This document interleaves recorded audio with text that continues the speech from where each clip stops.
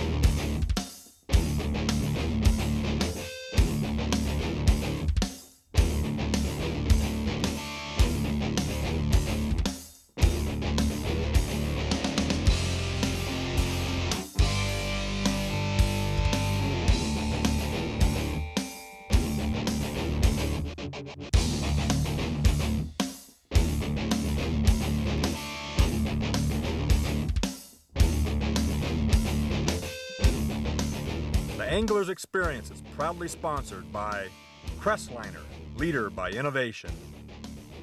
Setter Rods, the American way.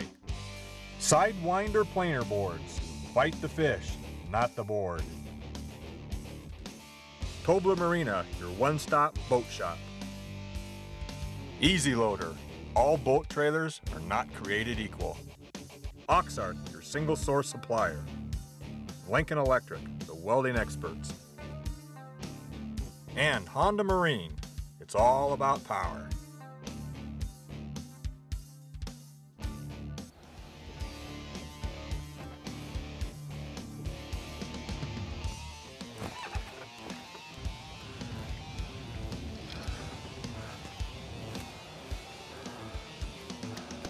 Another one on the Lucky Craft crank, guys. It's working. Not a bad fish right there.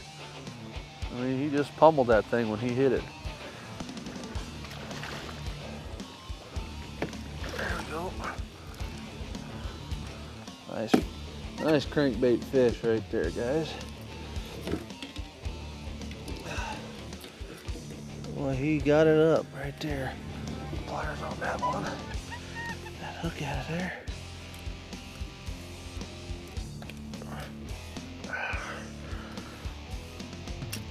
Go. Another good one, guys. Nice thick fish, healthy. They're about 18 inches or so. All right, buddy. Slide you back over.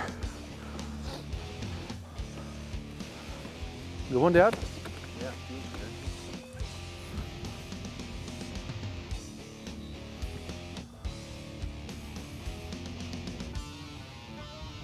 Oh yeah, that's a good one. Boy, he's honoring. That's a nice little crankbait fish. Oh, there you go, get in there, buddy.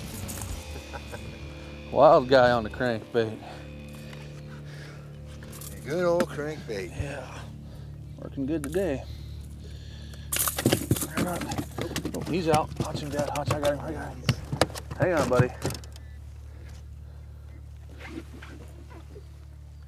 Those are nice walleye. Yeah, they're chunky. Nice thick fish. All right, bud. Let's get you back. There he goes. Cranking for walleye can be a real critical timing thing. What we're doing here today, this particular lake that we're fishing, the water's real stained. It's a real muddy water. And what that enables me to do is crank until about noon, one o'clock, until the sun gets extremely high, and then those fish pull off. And when you're on your lake or reservoir, the thing that's going to determine when you should crank and when you shouldn't cr- crank is your water clarity.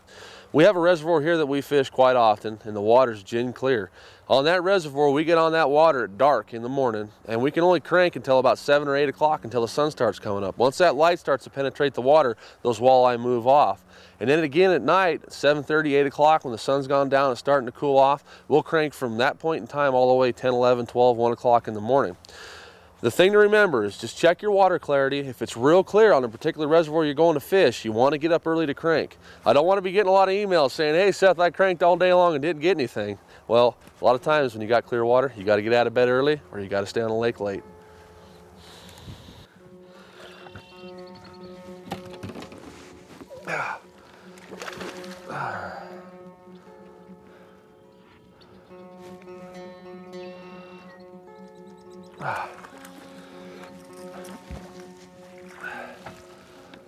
Nice little walleye.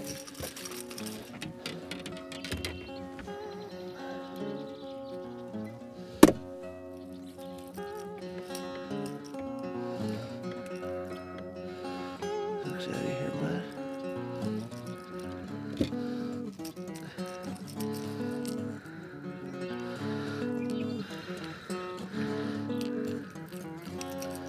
Well, you ate up that crank, bud.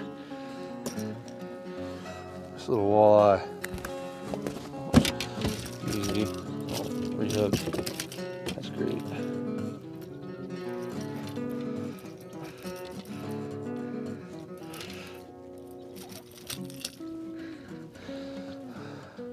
Nice little fish. All right, buddy. Slide back.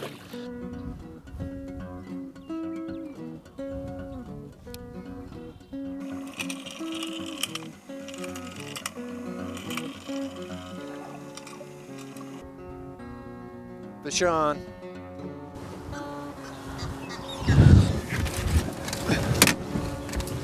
I'm coming. That's a nice one. Another cranker, guys. Crank is working.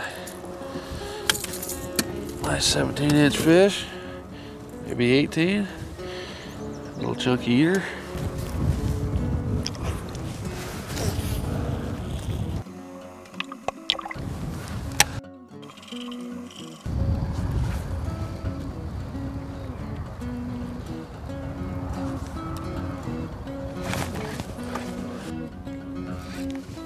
There. His head shaking bad. This feels like a pretty good fish. Ooh. You got that net pop? This is a good one. He's staying down. He's right there. Ooh, pulling line, good.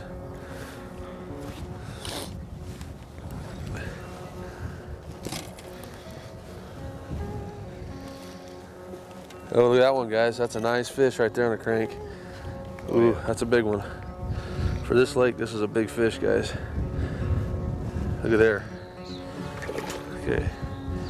Ooh, easy. I got the drag real loose. That's a key with these cranks. They won't pull it out of his mouth. Get him down. All right. There you go, guys. That's what can happen when you go crankbait and walleyes.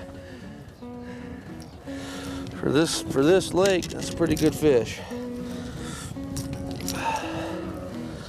That's a nice thick one. Nice stick across the back there. Got that Lucky Craft crank right in the side of his mouth. That pattern right there, guys, just to let you know, that's what they call an American shad.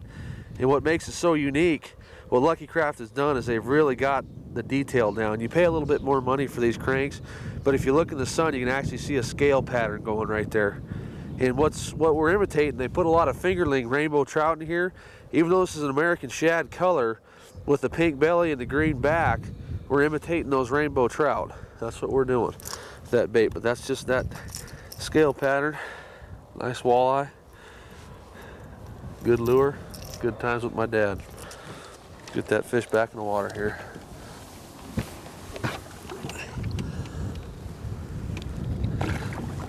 Here he goes. I want to talk to you a second here about bait profiles and you know crankbaits come in a lot of different shapes. They come in a thin middle presentation they come in this deeper bellied presentation here they come in a fat bodied. And what you have to determine when you go out a lot of times what you'll run into is a lot of your cranks that you buy have this shape right here. This is a typical style crankbait this is a lucky craft what they call a cb200 in that american shad pattern. And this is the cbmr flat in the american shad pattern and the major difference, we started out today throwing this bait. and it was catching a few fish, but not as good as it should have. The color was working, so what I did is just a quick profile change. I knew that they were chasing cranks. What I did, I knew they liked that color. But what I changed out, if you look at the backs on these, this is a thinner profile bait versus this fatter profile bait. If you look at the profile this direction, it's thicker in the belly than this bait is right here. And what you'll find a lot of times is if you go with a bait that's of a thinner profile like this guy, the fish tend to eat it more. What happens with a thinner profile bait, it's easier to swallow for that fish. Even though this bait is deeper this direction, it's thinner across the back. And that's one of those little change ups that you need to keep in mind when you're out fishing. If you're hitting a few fish with that style of crank and you go, hey, uh, I want to get away from it, don't get away from it to try to catch more fish. What you want to do, keep the same lure profile, just go with that skinnier back. Thin that bait down, and that was the difference. We put this guy on, all of a sudden they started biting like mad.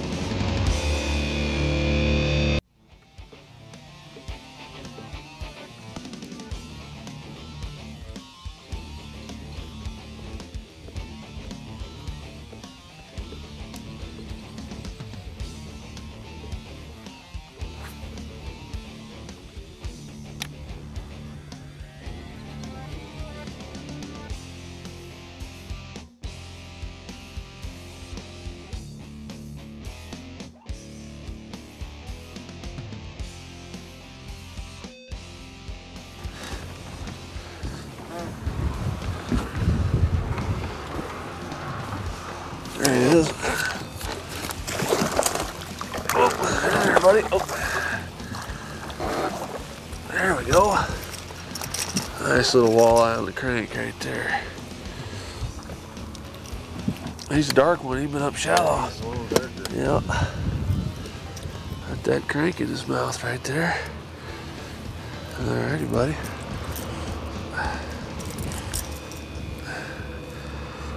Nice fish. All right, bud.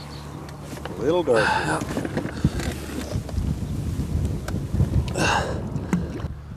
Folks, one of the mistakes that people make when they're fishing with these crankbaits is they throw it out and they just do a real steady retrieve. And at certain times of the year when the water's really cold, at just a nice steady pace, that'll catch fish. But the thing you gotta remember, if you watch fish swim in their natural environment, you know, whether you're watching little sunfish or perch swim around by a dock, nothing swims in a steady motion in a straight line. It's always darting around. So what we wanna do is you wanna do the same simulation to your crankbait. And the way you do that is you just reel, pause, reel, pause. You can jerk the rod tip a little bit. I prefer to just reel and pause, reel, pause, pause, reel. Just throw some action into it so that bait's moving around. It's not moving in a steady line. And it goes the same for you if you're trolling, long lining. Hold the pole in your hand and just twitch the pole. Just remember that nothing in its natural environment swims in a straight line at a steady pace. It's always darting around. So make sure to apply some action to that bait when you got it out there in the water. Walleye.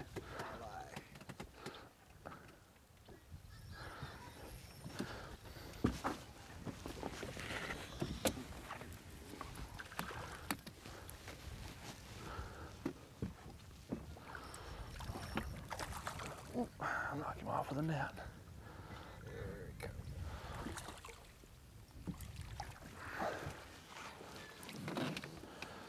well, folks, you're not going to believe this. Dad decided he'd try for some largemouth real quick while we're out here fishing. And in that fish's mouth is a seven inch Berkley ribbon tail worm. Trying to catch a bass in that brush pile and he caught a walleye. We just can't get away from the walleye today. Hang on, buddy. Got him good up there in that flesh.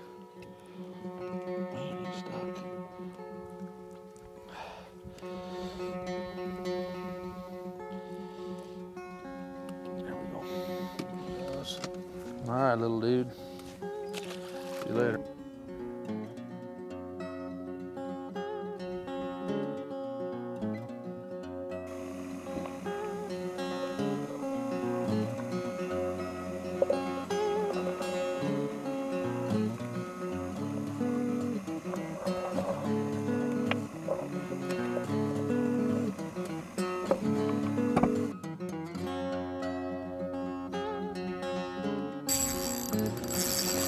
it's a nice largemouth.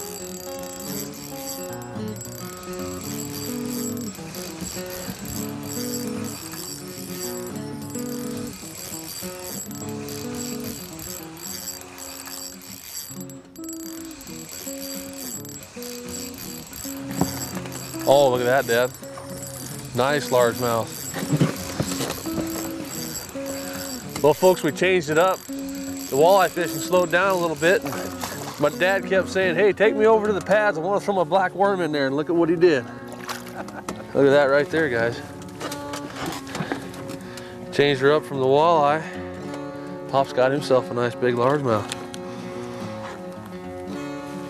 Been a long time since I've seen one that size for a while. There you go, Pop. Grab your fish, buddy. All right, so we'll take a picture with you, Dad.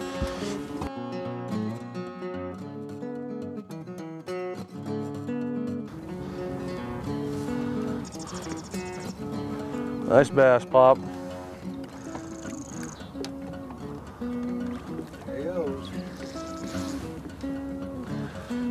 Hey, Pops wanted to stop at the lily pads because he felt there was a bass there. I'll be danged, he was right. Sometimes you got to listen to the old man. He knows what he's talking about. Well, folks, we're on to another bass. We, after Dad caught that one, we decided, hey, walleye fishing's a little slow, so I tied up a Senko. We're working these pad pockets. That's one of the things about being a diverse fisherman. You know, if one thing slows down, we could probably find some, find some walleyes and whatnot. But hey, we switched over here and we got some bass, and what the heck, the day's staying active for us. Not as big as my dad's, but hey, I'll take them. This little chunky fish on the Senko. Yeah, not bad. I'll take them all day long. Yep. They're living in the pan. Oh, I got him hooked good. Buddy, you got. Oh, got you hooked, it up. There we go. Nice little chunky bass. Not quite as big as the old man's, but hey, we'll keep trying. See you later, buddy. Thank you.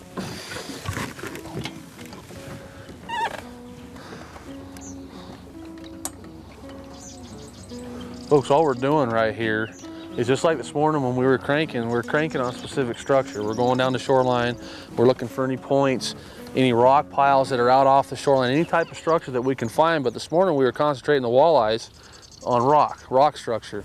We're doing the same thing here. What we've got is we've got big bulrushes and then they, they, they transfer into these lily pads and there's just pockets of these down this lake. And everybody's focused on this lake for fishing for walleyes. And my dad grew up on this lake years and years ago and uh, everybody fishes this lake for walleye and crappie. And he said back years ago, he used to catch big bass in here. And, and I haven't been back to this lake for probably 25 years. This is the first time I've been back here. And uh, dad just happened along and said, hey, let's go try those lily pad pockets. And all we're doing is we're doing just like this morning when we were cranking specific rock piles and points for walleye. Now we switched over to weed growth. And if you look inside of the weeds, these, these lilies have structure within them.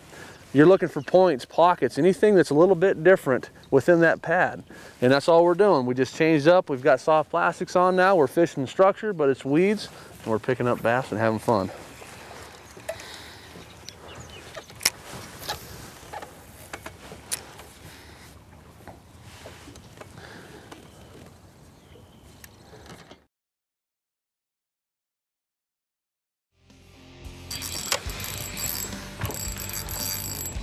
Go, fo- folks, another bass. That one looks pretty good. Oh man. Ooh. Look at there, guys. Yeah. That's a good one. Hey, we started out walleye fishing pops and we end up with this. That's not bad, huh? No. I'll take it all day long. Man, he ate that Senko up. That's a good fish. Ugh. Oh. You getting pops? All right. All right. See, I knew he'd get one bigger than mine. Well, I don't think I'm quite there yet. Got that Senko right there in the side of his mouth. He's been caught before, guys. You can see where I gotta be careful with this guy here. Get this hook out of here without hurting him. This is a this is a product to catch and release, folks. He's he's pretty rough looking in the mouth right here, but he'll heal up and be just fine. Somebody caught that fish and enjoyed it and let it go. I came in here with my dad, caught him. Now I'm gonna let him go. All right, buddy. Thank you very much. You little chunky devil. See you later.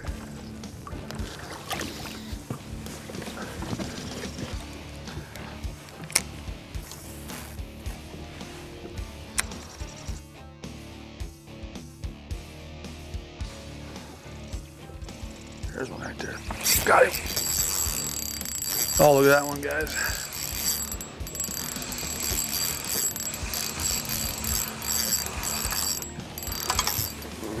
I don't know. He doesn't want to come in.